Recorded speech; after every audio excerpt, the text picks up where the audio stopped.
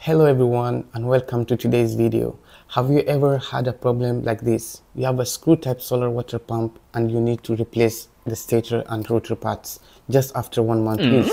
Don't worry because now we have the solution. But before we reveal this innovative technology, let's take a look at the solid rotors used in conventional screw pumps. These rotors are usually made of ordinary iron, which is prone to surface rust and wear. Furthermore, there's often a mismatch between the stator and the rotor because of poor rubber quality. Low quality rotors and stators lead to significant drop in pump efficiency with an average service life of only about a month and you may often be faced with frequent replacement parts. This not only increases maintenance cost but also affects the normal operation of your business. But now Yami's upgraded stator changes all that. We have chosen a premium 316 stainless steel to contrast with the solid iron rotor. This not only increases corrosion resistance but also improves the overall structural strength. Moving on to our stator.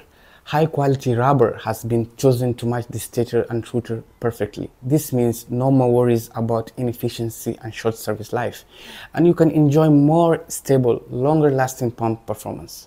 We put the new stator and rotor combination through various testing and we were pleasantly surprised by the result. Compared with the traditional stator rotor, the service life has been increased by more than 10 times. Yes, you had it right. This is not only a product upgrade, but also a revolutionary change to the solar pump industry. So to all the water pump manufacturers, if you are still struggling with frequent stator replacement, now is the time to welcome Yami's innovative technology. Not only it will improve the efficiency of your pump, but it will also greatly extend their lifespan and bring more value to your business which is a win-win cooperation. That's all for today. Thank you for watching. Don't forget to like, subscribe, and follow for more info at Yami's Solar Pump.